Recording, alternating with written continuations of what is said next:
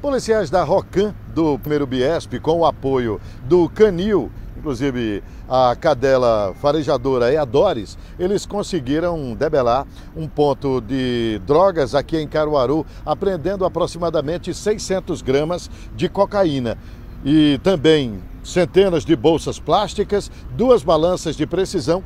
Todo este material foi localizado ali na rua Alexandrino Boaventura, no bairro Kennedy, onde foi preso o Daniel Lima da Silva, que tem 26 anos de idade. Ele foi trazido aqui para a delegacia e os policiais estão aguardando o delegado, a decisão né, do delegado, doutor Eduardo Sunaga, de qual procedimento será realizado em desfavor do Daniel Lima. Mas o fato é que realmente este material foi localizado com ele. De acordo com a PM, o que aconteceu foi o seguinte, né? Os policiais receberam a denúncia de que este local, neste local, estava é, sendo guardado, ou tinha sido guardada uma boa quantidade de cocaína. O policiamento foi até o local e, de posse das características do suspeito, o localizaram em frente ao imóvel, que é uma casa em construção, e aí comunicaram ao rapaz a denúncia, né? E aí, quando entraram lá na casa em construção, localizaram todo este material com a ajuda